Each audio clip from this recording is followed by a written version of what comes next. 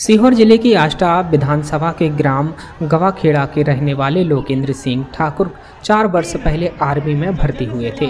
अभी जम्मू कश्मीर के कुपवाड़ा में तैनाती के दौरान आतंकवादियों से मुकाबला करते हुए गोली लगने से शहीद हो गए।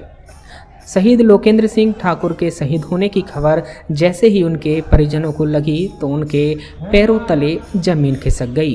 बता दें कि शहीद की पिछले वर्ष ही शादी हुई थी। वह घर पर अकेला बारिश था। लोकेंद्र सिंह ठाकुर के शहीद होने की खबर पूरे क्षेत्र में आग की तरह फैल गई। क्षेत्र के लोग सोशल मीडिया पर ही श्रद्धांजलि दे रहे थे। शनिवार को शहीद के शव को पैतृक गाँव गवाखेड़ा लाया गया। तो हज़ारों लोगों का जन समूह शहीद को श्रद्धांजलि देने पहुँचा। जिन बुज़ुर्गों की आँखों के सामने गलियों में लोकेंद्र खेला करता था, उन्हीं आँखों के सामने लोकेंद्र सिंह ठाकुर की अर्थी निकली तो लोगों की आँखों से अश्रुधारा निकल पड़ी। शहीद की शव यात्रा में युवक की टोली, भारत माता की जय और लोकेंद्र सिंह ठाकुर अमर रहे के जय घोष के साथ चल रहे थे।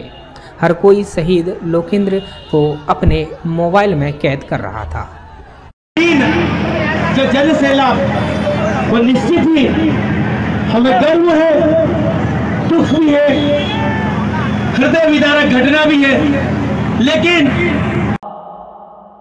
मुँह मोड़ करके मुँह से निवाला चला गया।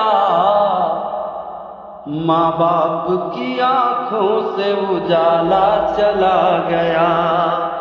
माँ बाप की आँखों से उजाला चला गया।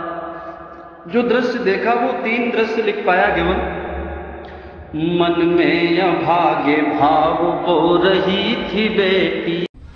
सिंहराष्ट्र से यूडी न्यूज़ के लिए राय सिंह मालवी की रिपोर्ट।